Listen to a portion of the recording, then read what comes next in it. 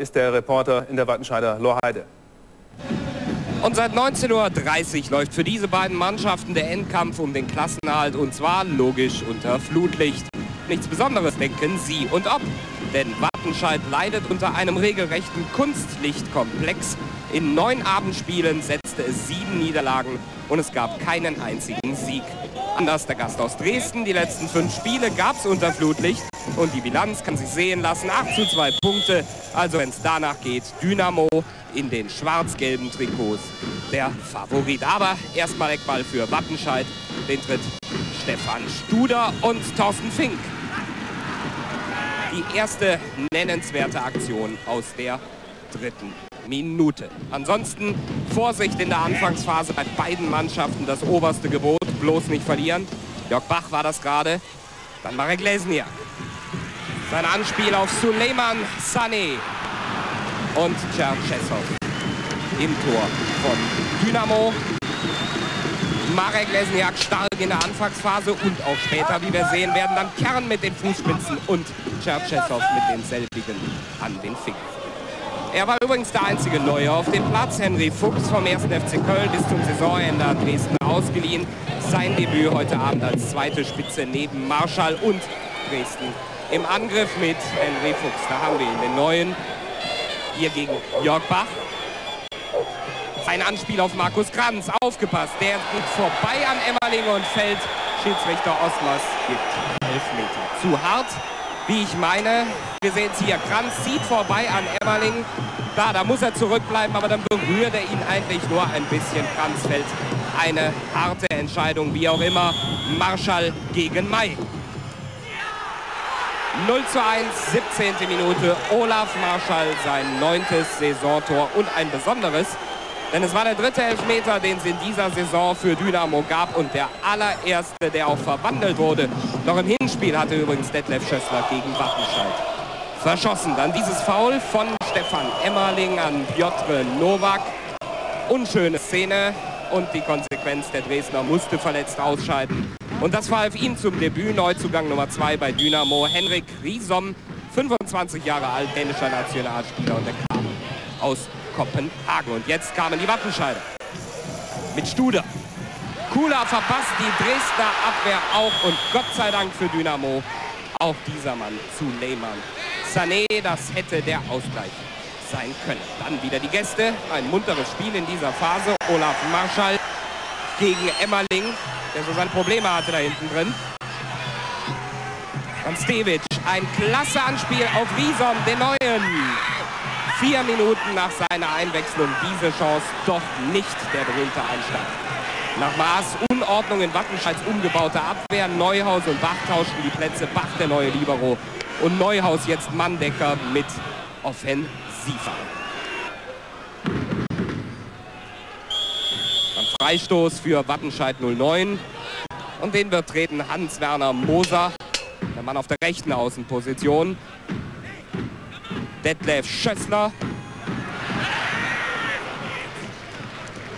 Dieser Schuss kam von Thorsten Fink, der verzog. Die Vorbereitung gerade eben kam von Marek Lesniak.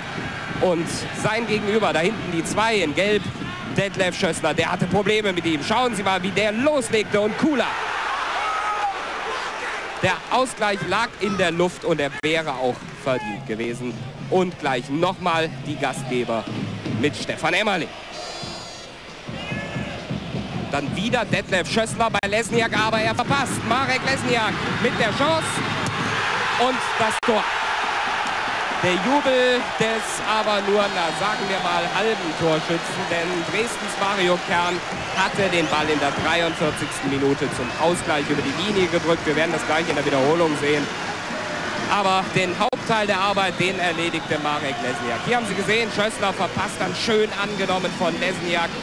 Er spitzelt den Ball vorbei am Keeper und hier eindeutig vor der Linie. Also in diesem Sinne Kern der Torschütze. 1 zu 1 und Marek Lesniak, er war der beste Mann auf dem Platz. Da ist er, was macht er jetzt? Herrliches Anspiel auf Sané, aber der vergibt die Chance. Eine Minute vor der Pause diese Szene. Hier Lesniak mit viel Übersicht zum Senegalesen. Aber 1 zu 1 ist lieb bei diesem Ergebnis zur Pause. Der Blick auf die Tribüne, der Blick auf eine Lady.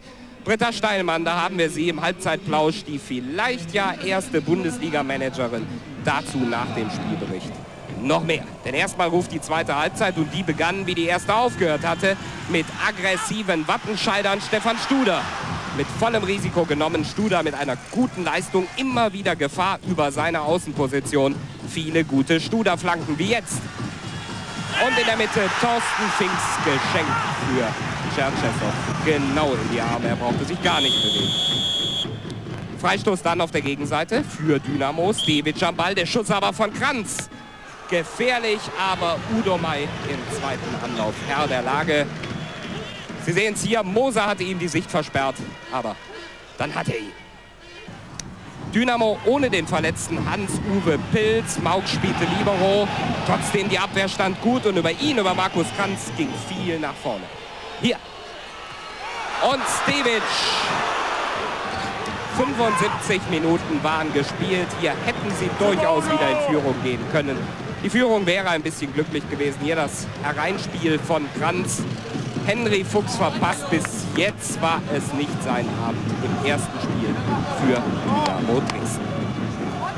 Noch zehn Minuten zu spielen. Wattenscheid musste kommen. Sie brauchen mehr als nur ein Unentschieden, um da unten rauszukommen.